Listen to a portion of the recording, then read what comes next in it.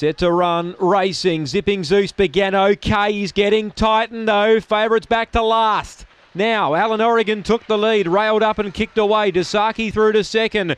They're bunching behind the leader, but the leader's got five links on them. Dasaki through to second, running on out wide. Karoma Storm, then Purpose Driven. Zipping Zeus gets to the rail, spots the leader's six though. Then came Motown Roy, well back Springvale, Brennan Sutton Steel. Alan Oregon shot away though at seven lengths clear. Then came Purpose Driven, running on Zipping Zeus, but it's Benny Rawlings again, this time with Alan Oregon. He's the feature race king. Alan Oregon wins by four. Second to photo, Zipping Zeus or Purpose Driven. Then came a gap away to either Karoma Storm or Motown Roy. And Sutton still back amongst the tail enders. And the time for Alan Oregon 35 13. It's Benny Rawlings again. Number one, Alan Oregon. He gets the cash. Gee, $7.30. $4 fixed prior to the race. It's a big price.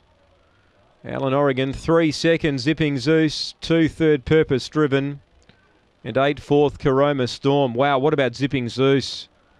What about Zipping Zeus? It was uh, hammered early, and it's got to the rail mid race. It's come flooding home. It's got second from Purpose Driven and Karoma Storm. 1, 3, 2, and 8. 35 13 the time, 905. 21.71 and 13.42 on the way home. Alan Oregon got a big lead, set up a, a race winning lead, and they couldn't catch him. Three zipping Zeus, big run. He's come from nowhere to get second, and two purpose driven back into third. Uh, Karoma Storms got into fourth placing.